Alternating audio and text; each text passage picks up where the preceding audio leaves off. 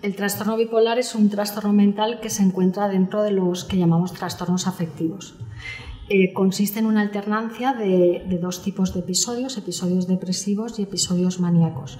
Los episodios depresivos consisten en un estado de tristeza profunda, la persona eh, no, no, puede hacer cosas, no tiene ganas de hacer cosas, tiene sentimientos de inutilidad, de culpa, a veces ideación suicida, y eso se alterna con otros episodios en los que el estado de ánimo es totalmente contrario. ¿eh? La persona siente euforia, se siente muy bien y eso lleva a una hiperactividad que además esa hiperactividad puede hacer que la persona llegue a la agitación, a tener ideas de grandeza o delirios y eso puede derivar en un, en un ingreso hospitalario. ¿eh? El trastorno por eso lo consideramos un trastorno mental grave.